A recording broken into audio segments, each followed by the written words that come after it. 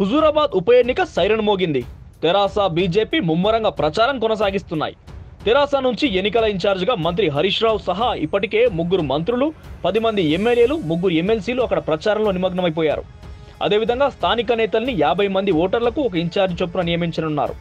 ఎలాగైనా MLA seat దక్కించుకోవడమే లక్ష్యంగా పావులు కదుతోంది అధికార టీఆర్ఎస్ పార్టీ. ఇక కాంగ్రెస్ అసలు తమకు పోటీయే కాదని చెప్తున్నారు అక్కడి తెరాస నాయకులు.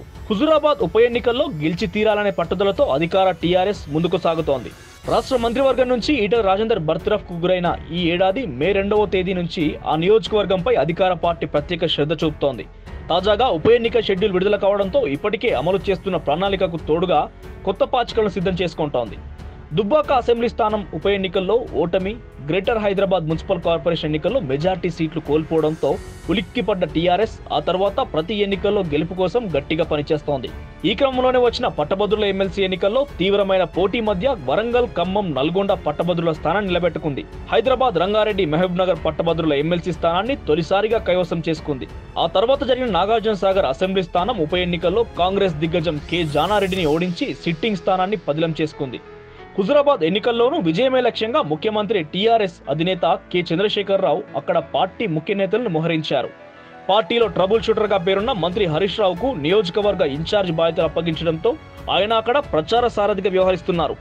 తొలుత సిద్దిపేట హైదరాబాద్ కేంద్రంగా చక్రం తిప్పిన హరీష్ రావు ఆగస్టు పదకొండున మొదటిసారి హుజరాబాద్కు వెళ్ళారు. అదే రోజు సీఎం కేసీఆర్ పార్టీ అభ్యర్థిగా గిల్లు శ్రీనివాస్ యాదవ్ పేరును ప్రకటించారు. మంత్రి హరీష్ రావు రంగప్రవేశం చేసిన తర్వాత నియోజకవర్గంలో పార్టీ పరిస్థితి మెరుగుపడిందని టీఆర్ఎస్ ముఖ్యులు పలువురు అభిప్రాయపడుతున్నారు. అలాగే ఉమ్మడి కరీంనగర్ జిల్లాకు చెందిన మంత్రులు గంగుల కమలాకర్ కుప్పల ఈశ్వర్ నియోజకవర్గంలో కాలికి బలపం కట్టుకొని తిరుగుతున్నారు. ఈ ముగ్గురు మంత్రులతో పాటు పది మంది ఎమ్మెల్యేలు పెద్ది సుదర్శన్ రెడ్డి సుంకె రవిశంకర్ సండ్ర వెంకట వీరయ్య బాల్క సుమన్ చెల్లా ధర్మారెడ్డి ఆరూరి రమేష్ ఒడితల సతీష్ కుమార్ ముగ్గురు ఎమ్మెల్సీలు పల్లా రాజేశ్వర్ రెడ్డి నారదాసు లక్ష్మణరావు పోచంపల్లి శ్రీనివాసరెడ్డి. హుజురాబాద్ ఉప ఎన్నికల కోసం మండలాల వారి బాధ్యతలతో పూర్తి స్థాయిలో పనిచేస్తున్నారు. మధ్య మధ్యలో ఆ నియోజకవర్గంలో ఇతర మంత్రులు పర్యటిస్తున్నారు. ఈ క్రమంలో కొందరు టీఆర్ఎస్ నేతలు హుజురాబాద్ నియోజకవర్గంలోని ఐదు మండలాల్లో గడిచిన ఐదు నెలలుగా శ్రమిస్తున్నారు. ప్రతి యాభై మంది ఓటర్లకు పార్టీ తరపున ఒక ఇన్ఛార్జిని పెట్టారు. ఇందుకోసం మొదట ఇతర జిల్లాల నాయకుల సేవలను వినియోగించుకున్నప్పటికీ ఇప్పుడు స్థానికంగా ఉన్న పార్టీ నేతలకే ఈ బాధ్యతను అప్పగించారు.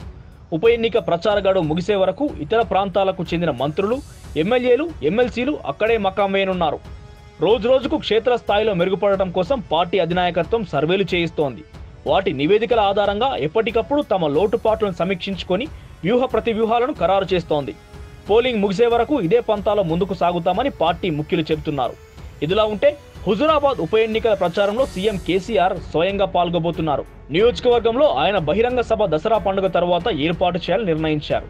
అక్టోబర్ ముప్పై పోలింగ్ తేదీ కాగా అంతకంటే నాలుగైదు రోజులు లేదా వారం రోజుల ముందే కేసీఆర్ సభ ఉండేలా ప్రణాళిక సిద్ధం చేస్తున్నారు. దళిత బంధు పథకం ప్రారంభించడానికి ఇప్పటికే సీఎం కేసీఆర్ హుజురాబాద్ ప్రాంతంలో ఏర్పాటు చేసిన సభలో పాల్గొన్న విషయం అందరికీ తెలిసిందే. ఉప ఎన్నికల షెడ్యూల్ విడుదల నేపథ్యంలో బీజేపీపై రాజకీయంగా దూకుడు పెంచాలని టీఆర్ఎస్ ముఖ్యులు నిర్ణయించారు. హుజురాబాద్లో కాంగ్రెస్ పార్టీ తమకు పోటీ కాదని భావిస్తున్నారు. ఈ మేరకు కేంద్ర ప్రభుత్వంగా దేశంలోనే కాకుండా రాష్ట్రాల్లో అధికారంలో ఉన్న చోట బీజేపీ చేయలేని ఎన్నో అభివృద్ధి సంక్షేమ పథకాలను రాష్ట్ర ప్రభుత్వంగా టీఆర్ఎస్ తెలంగాణలో అమలు చేస్తోందనే విషయాన్ని ఉదాహరణలతో ప్రజలకు వివరిస్తామని పార్టీ నేతలు చెబుతున్నారు. అలాగే తమ రాజకీయ ప్రత్యర్థిగా మారిన ఈటల రాజేందర్కు టీఆర్ఎస్లో కొనసాగినంత కాలం తక్కువ ఏమి చేయలేదని ఎమ్మెల్యేగా మంత్రిగా అవకాశం ఇచ్చామని గడప గడపకు తిరిగి చెబుతామని అంటున్నారు. కాగా నాగార్జున సాగర్ ఉప ఎన్నికల్లో మాదిరిగానే హుజురాబాద్ ఉప ఎన్నికలను టీఆర్ఎస్ వర్కింగ్ ప్రెసిడెంట్ మంత్రి కేటీఆర్ ప్రచారం చేయకపోవచ్చని తెలుస్తోంది. మన టాప్ తెలుగు టీవీ షేర్ చాట్లో అలాగే డైలీ హండ్ న్యూస్ హ్యాప్స్లో కూడా ఉంది.